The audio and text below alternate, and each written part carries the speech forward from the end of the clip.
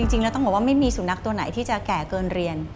นะคะถ้าเกิดว่าเขายังมีศักยภาพที่จะเรียนรู้ มีความฉลาด มีความกระตือรือร้นอยู่ แล้วไม่ได้มีปัญหาสุขภาพเนี่ยสามารถที่จะเทรนได้หรือว่ายังปรับเปลี่ยนพฤติกรรมได้เสมอ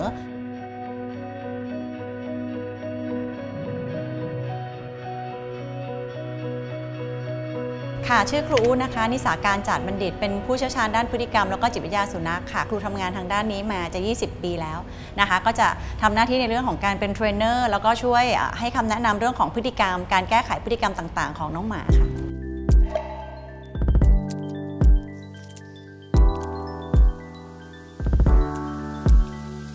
เออจริงๆต้องบอกว่าเป็นเป็นความโชคดีของครูที่ ได้เจอสิ่งที่เรารักแล้วก็ชอบอะค่ะ ตั้งแต่ตอนที่กำลังเรียนอยู่ เราได้ลองทำอะไรหลาย ๆ อย่างนะคะ สิ่งหนึ่งที่ได้ไปเจอแล้วก็ได้ทำก็คือเรื่องของการฝึกสุนัขครูรู้สึกว่างานที่เกี่ยวกับสุนัขอะมันเป็นงานที่ที่เรามีความสุข แล้วเราก็รักที่อยากจะทำ ทีนี้การที่เราจะให้สุนัขตัวหนึ่งเนี่ยค่ะมาอยู่ในครอบครัวของเราเป็นสมาชิก เป็นสมาชิกในครอบครัวเราอะค่ะ เราก็ต้องให้การศึกษาที่ถูกต้องกับเขา เพราะธรรมชาติของสุนัขคือสัตว์ป่า สุนัขจะรู้แค่ว่าอะไรที่จะทำได้จากการสื่อสารของคนที่เป็นเจ้าของ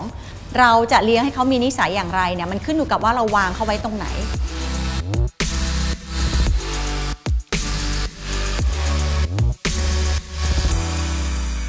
ในระบบการทำงานของอาชีพครูฝึกนะคะ อันดับแรกเลยเนี่ยมันจะมีมันจะมีการประเมินก่อนนะคะเพราะว่าอย่างเคสของครูเนี่ยครูจะเป็นการปรับพฤติกรรมด้วย เพราะนั้นเราต้องรู้ก่อนคุยกัน เจ้าของก็ต้องแชร์ บอกครูมาว่า น้องหมามีปัญหาพฤติกรรมอะไร สุนัขเนี่ยดมคติของแต่ละคนเนี่ยไม่มีทางที่จะเหมือนกัน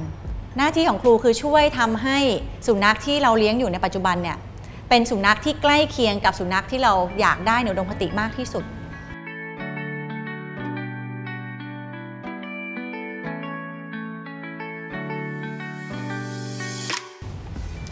น้องหมาเขาต้องมีความสุข อันนี้ครูให้เป็นพอยต์หลักเลย น้องหมาต้องมีความสุขในระหว่างที่ได้รับการเทรนนะคะ ถ้าเมื่อไหร่ที่ที่เทรนไปแล้วน้องหมาอยู่ในสภาวะของความเครียด มีความรู้สึกแบบว่ากลัวหรือหวาดระแวงเนี่ย จะเป็นผลลบละ ผลลบกับการฝึก น้องหมาจะไม่อยากเข้าใกล้เรา จะระแวงเรา จะไม่สนิท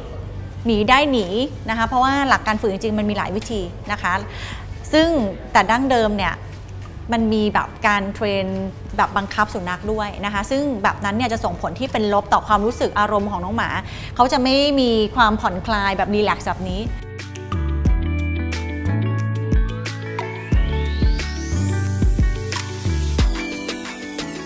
ประเภทของการฝึกสุนัขจริง ๆ แล้วหลักๆ เลยเนี่ย มันจะมีอยู่ 2 หมวดหมู่ใหญ่ๆ เรื่องแรกก็คือเป็นเรื่องของการพัฒนาศักยภาพ การให้เชื่อฟังคำสั่ง การให้ทำงานเฉพาะวัตถุประสงค์ที่ต้องการนะคะ เช่นเราจะเห็นว่าสุนัขบางตัวเนี่ยถูกฝึกเพื่อให้เป็นสุนัขอารักขาเฝ้าบ้าน เฝ้ายาม ตามกลิ่นสะกดรอย ดมหาวัตถุระเบิด ดมหายาเสพติด อันนี้ก็คือวัตถุประสงค์คือการฝึกเพื่อการใช้งานนะคะกับอีกแบบหนึ่งก็คือสุนัขที่เป็นสุนัขที่เลี้ยง เพื่อเป็น companion dog ก็คือสุนัขที่เลี้ยงเพื่อเป็นสมาชิกในครอบครัว ซึ่งในกลุ่มที่2เนี่ยก็จะต้องการในลักษณะของการสั่งให้เชื่อฟังคำสั่งได้ และเน้นเรื่องของการปรับพฤติกรรมเป็นหลักนะคะ ซึ่งกลุ่มที่เป็นกลุ่มใหญ่ของบ้านเราเลยคือกลุ่มที่ 2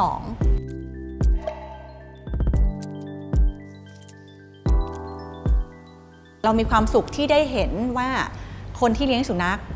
เขาสามารถที่จะอยู่กับสุนัขของเขาเนี่ยที่เขารักอะ่ะไปได้ตลอดชีวิต อันนี้ก็คือความตั้งใจเป้าหมายในชีวิตแรกของครู ส่วนที่สองเลยก็คือคือครูอยากจะให้อาชีพเนี้ยเป็นอาชีพที่มันสามารถต่อขยาย แล้วก็เป็นอาชีพที่มันได้รับการยอมรับได้รับความนิยม เป็นอาชีพที่มันค่อนข้างเฉพาะ แล้วก็ครูมองว่ายังเติบโตได้อีกจำนวนคนที่เป็นครูฝึกในประเทศไทย น้อยมากถ้าเทียบกับ ลาดหรือว่าความต้องการนะคะยังเติบโตไปได้อีกเยอะ